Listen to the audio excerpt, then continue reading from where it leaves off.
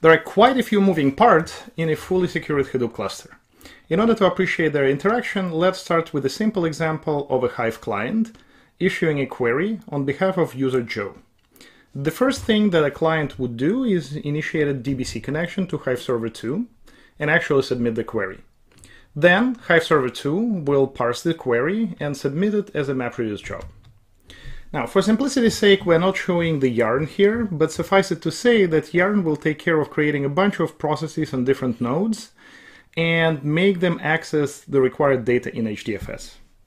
Once everything is said and done and the MapReduce job completes, it will return its result back to the Hive Server 2. Hive Server 2 will incorporate that result in the query answer that it will then return to the client. This is a very simple scheme, and it's something that we've already seen in a previous chapter with our simplified deployments of Hadoop. While easy to deploy, this setup doesn't protect against the most basic exploit. A malicious Hive client pretending to be a super user trying to get access to all the data in the cluster that it shouldn't really be able to see.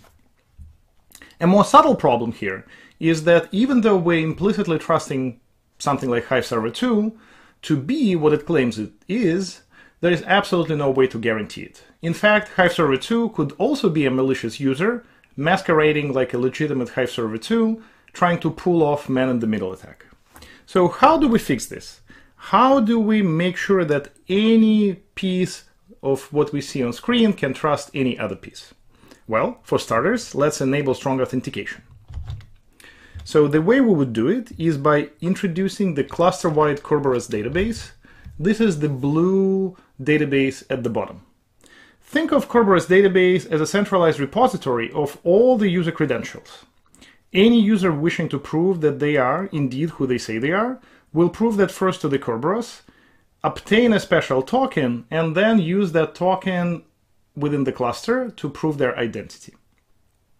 Now, interestingly enough, this scheme works not only for human users like our user Joe, but also for services like Hive Server 2, HDFS, Yarn, or anything else that may be running on the cluster. Long story short, a cluster-wide Kerberos is like a mafia boss who knows everyone and can vouch for identity of various part of his circle. But how large is the circle, you may ask?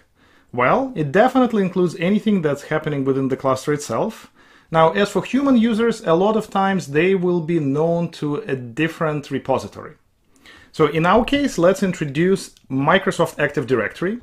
This is the blue database at the left as a repository to which all of the human users are known, including our user Joe. So as it happens, user Joe is known to Active Directory, but it isn't known to Kerberos database. Do we have a problem? What happens then?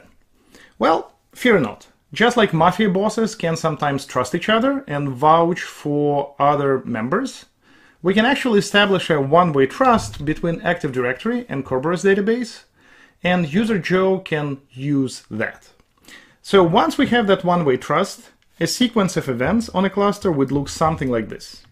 So first of all, all of the services like Hive Server 2, HDFS, Yarn, or anything else like that would start up. They would prove their identity to the Kerberos, and they would get back the token that they can keep using for some period of time. What happens to our user Joe?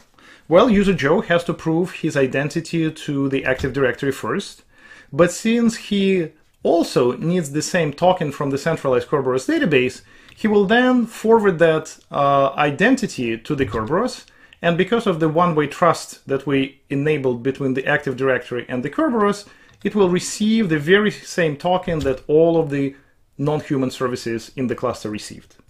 So now we have a situation where any piece of the cluster can trust any other piece of the cluster, including the human users.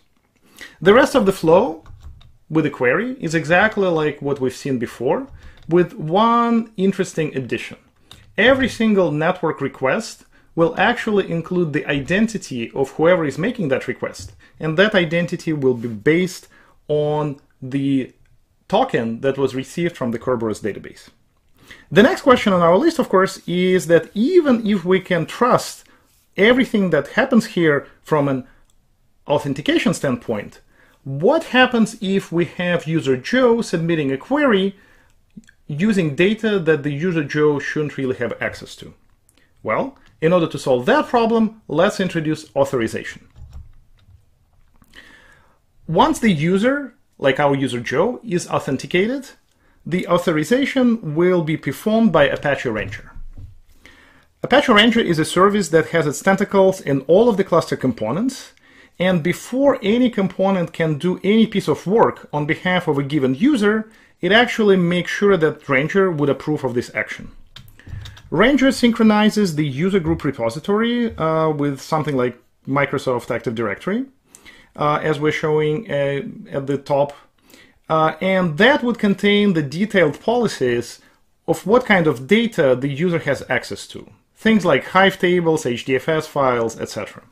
So then Hive Server 2 will pass the user ID and request to Ranger policy and will receive a reply back saying whether that user is allowed to do what the user is intending to do. This, of course, gives us a very fine-grained access control and also a single point of policy administration. But the cluster services are still exposed to any kind of malicious traffic that may be coming from the client. So the next layer of security to build up is a strong perimeter security with Knox. First of all, we will isolate all of the cluster component in a fortified perimeter so that network traffic can only be allowed within that perimeter, and the only component capable of talking to the outside world will be Apache Knox. Knox will provide a gateway that all clients will have to pass through to get to the cluster.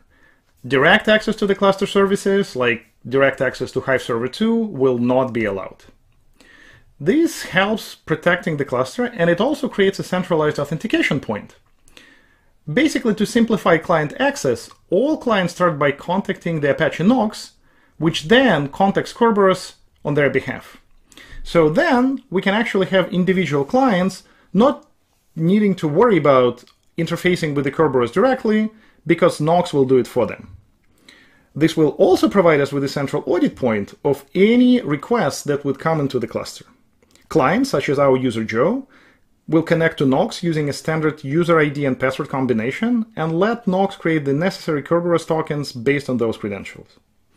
This actually looks much more secure already, but let's go one step further and introduce encryption for data in motion, anything that travels on the network, and data at rest, anything that is actually being stored on disk. We will do that by basically enabling SSL for all of the network traffic and enabling encryption data for disks on HDFS. So first, we will start with enabling SSL. Look at how each of the network connection in our diagram is now protected by green SSL sleeve, and how blocks of data stored in HDFS are now being protected by the green locks. Those locks are in fact coming from a Hadoop feature known as transparent encryption. At this point, we have a fully secured cluster. And better yet, we made it in a fashion that is fully transparent to our original Hive client. Our Hive client can still issue the same query as it did on our first slide. Basically, you can see that with Hadoop, strong security doesn't really have to come at the expense of usability, and enabling it should really be one of your top priorities on any real-world production deployment.